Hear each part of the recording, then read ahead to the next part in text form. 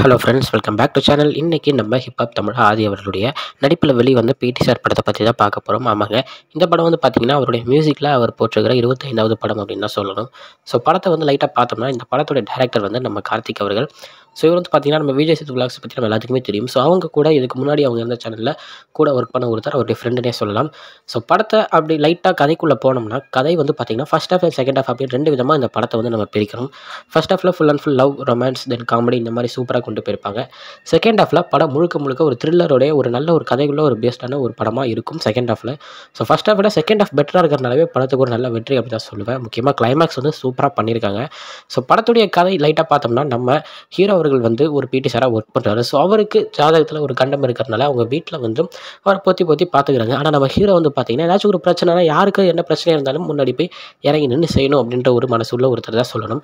So அதுக்கேற்ற மாதிரி அவருடைய எதிர்த்த வீட்டில் இருக்கிறவங்க தான் நம்ம அனிகா சுரேந்திரன். ஸோ அவங்களுக்கு ஏற்படுற ஒரு பிரச்சனையில் இவர் இறங்கி அந்த பிரச்சனைக்கு என்னென்ன வழி காண்றாரு என்னென்ன பண்ணுறாரு அப்படின்றது தான் இந்த படத்தோட முழு கதையாகவே இருக்கும் அப்படின்னு சொல்லலாம்.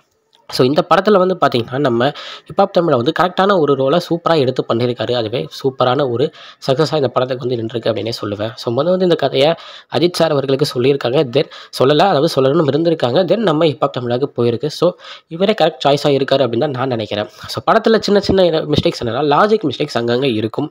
பட் ஆனால் அந்த லாஜிக் மிஸ்டேக்ஸை நம்ம தள்ளி வச்சுட்டு படத்தை பார்த்தோம்னா படம் சூப்பர் படமாக இருக்கும்.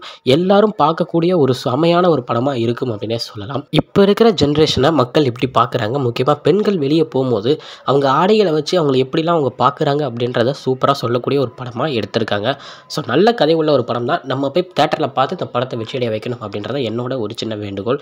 ஏன்னா இந்த மாதிரி நல்ல படங்களை நம்ம வந்து விட்டுறதுனால தான் ஹீரோஸ் வந்து அதுக்கப்புறம் இந்த மாதிரி கதைகளை சூஸ் பண்ணவே அவங்க தயங்குறாங்க அப்படின்னு நான் சொல்லுவேன். ஸோ இந்த படத்தை எல்லாரும் போய் பாருங்கள் தேட்டரில் பாருங்கள் ஃபேமிலியோட பாருங்கள் பார்த்துட்டு உங்களுக்கு எப்படி பிடிச்சிருந்தது அப்படின்றத கமெண்ட்டில் மறக்காமல் சொல்லுங்கள் ஓகே ஃப்ரெண்ட்ஸ் இதுதான் இன்றைக்குள்ள வீடியோ இன்னொரு வீடியோவில் உங்களை வந்து பார்க்குறேன். அது வரைக்கும் உங்ககிட்ட இந்த விடைபெறுறது உங்கள் Jaswin.